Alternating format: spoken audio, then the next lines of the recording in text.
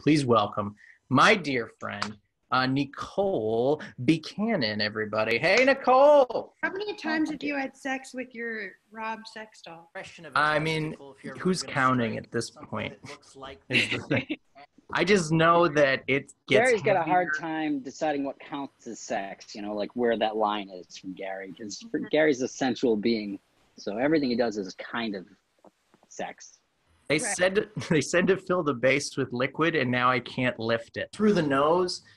Nicole, uh, you're in a an apparent no smoking zone, um, in a in what looks like a rose garden. Inside the house. You can smoke outside the house. You can't smoke inside the house. Are you quarantined with an oxygen tank by any chance? When was the last time you were at, at someone's house where they were smoking inside? My grandpa used to do it. No one more recently? I don't know a lot of people with houses. That's Yeah. Oh, I guess. Yeah. I mean, that's a houses, luxury these days. home. I guess. I, I, I, which is wherever you hang your hat.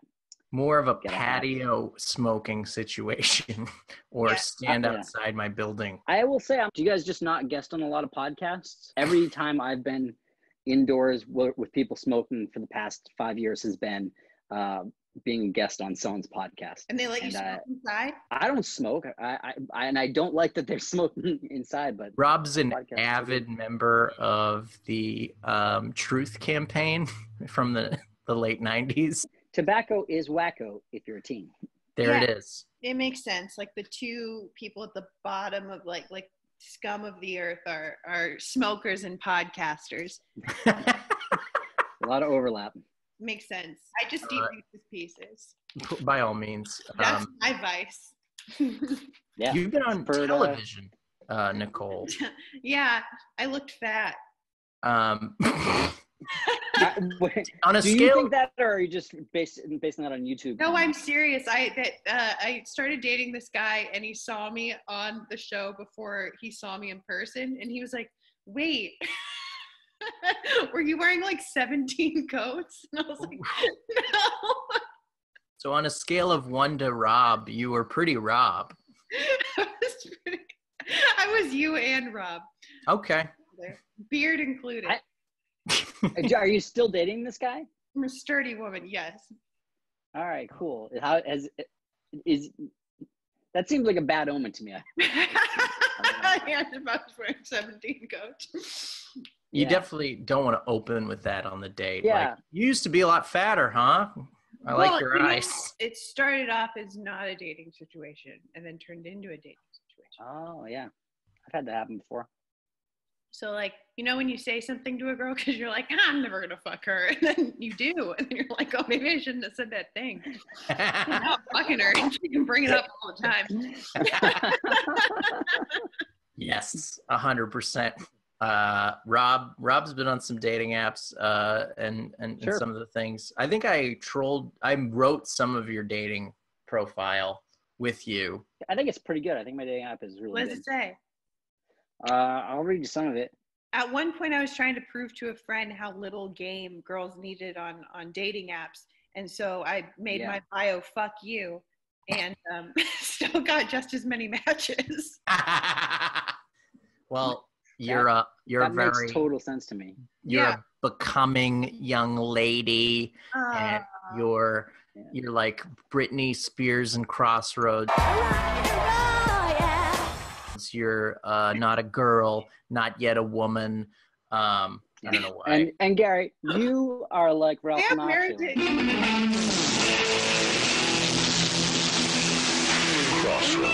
Look at this outfit. I- This is kind of like uh, I'm wearing like a schoolgirl outfit, so I am kind of like Britney Spears and Crossroads right now. See, I nailed it. I know my Spears. Let me read you a little bit of this, and you guys can tell me if you think this is good. So this is my uh my about me. Manic pixie dream middle aged man. Um, American humorist. That's the worst part, obviously. Uh, if I'm actually trying to meet people on the app, I'll edit that part out. Um, AMC Stubs A-list member. So if we go to the movies, my ticket is free. Hate small talk. Only like yelling and screaming. Sapiosexuals. Swipe left. Dum dum sexual. Swipe whatever the other direction from left is. Fluent in passive aggression. Parent to two fur babies. These balls. Big big pharma Amazon spokesboy, emotionally unavailable, non-college educated vegan, 5'4", Insta butt model, Twitter hot take influencer, uh, Insta, Twitter, Venmo uh, at Rob Crean. So that's that's that's it. I think it's pretty good. I love you. I love that. Did that get you any tail? Uh, it's it's I, I do all right. Yeah. Cool. I uh, uh I I've always wondered what the opposite of sapiosexual was. It's dum dum sexual. Yeah, dum dum sexual. I'm definitely that. I love I love a good. Oh dumb. yeah. I love a good hot dummy with a big old dick. Is there ever a point where someone's too dumb, Nicole? Um, well, I mean, like, if they're so dumb, it's to the point where, like, it would be considered like a crime if I had sex with them. That's a pretty good bar to set. Just past Forrest Gump. I would have fucked Forrest Gump. I feel like that's upsetting to know why you flinched when I gave you a hug the other day. Um, Nicole, Could has- also be the pandemic. Yeah. This is true. Uh, Nicole, you've written and been in writers' rooms with tons of people. Uh, you've uh, had many three ways all over the world. There's a lot of things about you um, that uh, I personally uh, love. I helped jumpstart your Prius the other day. You're welcome. You welcome. did. Oh, you're such an angel. That was great. And then it Uh, died again because you turned it off. Yeah, and then I screwed it, and then I fixed it, and I fixed it again. Fixed it again. Um, so uh, I'm a I've fixer. at also that's the one like one of the main things I've done. The only things I've done when I've left my house during this quarantine is I've jumped a friend's car twice. Same. There place. it is. Right. Um, you're a hero. You're all heroes. we're all Yep. we're all little That's heroes. what that's what we're here to talk about is what heroes the two of us are. Nicole has Hashtag not all men. You know what I'm saying? You guys could never be my type because you know how to jumpstart a car. you we're, we're too smart. I'm not a smart man, but I know what love is, Jenny. Uh, Forrest Gump. Uh, let me let me uh, uh, Byron Allen this because I don't want any any I don't want any everybody watching. I'm not going to pretend that I am not setting someone up for a joke. You understand? we are not going to the fun part is I don't even know what joke you're setting Exactly. up. for. but I'm I'm gonna I'm gonna It tell could be you one I don't even like. it, and that's that's my, that's on me. That's yeah, that's the fun part. and you fucking owe me. Um, so uh, uh, I think one of my my favorite, if I if I am to request a joke, something that I do tell to friends, uh, uh, say Nicole, uh, uh, have you heard about these uh, these these strip clubs, these strip clubs in America? I would be a stripper. You know, like I, I got it all going on, but only in America because like in Canada, they're throwing like here we have dollar bills. In Canada, they're throwing coins at these bitches. Yeah, Timmy's. That's great. Yeah, they're throwing loonies and toonies at their tits. It's insane. if you're a stripper in America and you come home with a bunch of bruises, you're in a bad situation. A stripper in Canada, you're a top earner, bitch. I love that joke. God damn it. I love any joke that makes me immediately be like, search that on the internet later. Sure, you know, Uh, yeah. this isn't even part of the joke, but I heard because my friend was telling me because he's from Canada and they'll like put like cards, like they'll lay down and put cards on their tits and like whatever, and they'll just like chuck the coins to try and get the cards off of the women.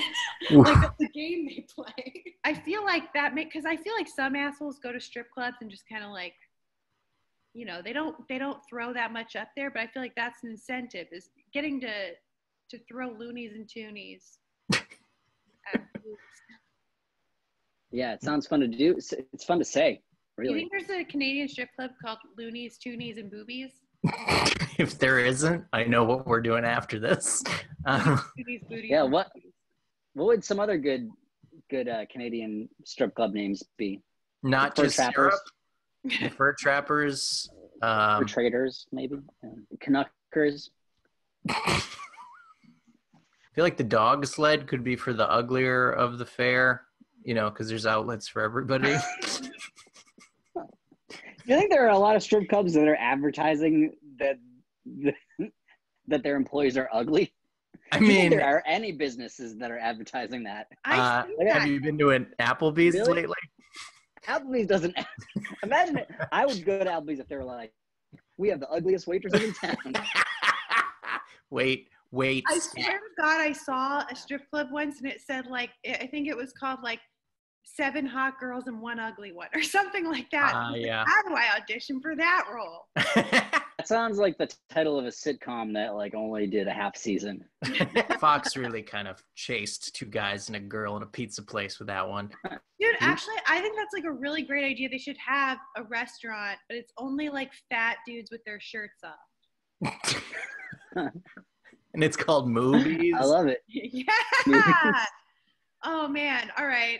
Look, I don't know if this uh this show is gonna be successful, but we Mm. gotta get uh, right after quarantine's uh, over. We're opening Moobies.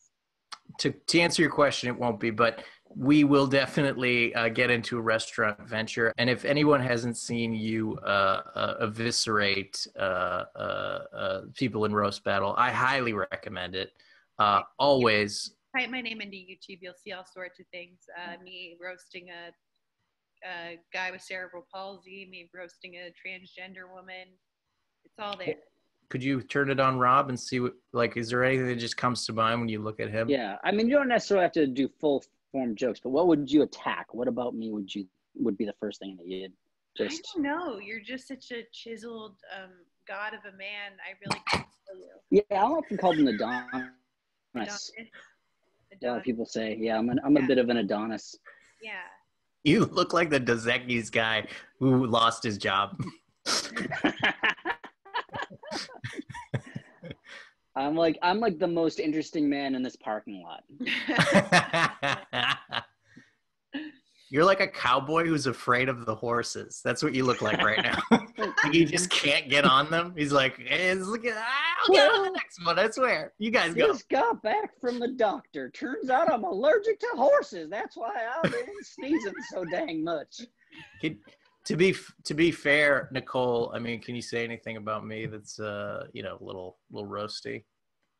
no, you're also an adult. I mean, like, you're the two most gorgeous men on the planet. How could I even?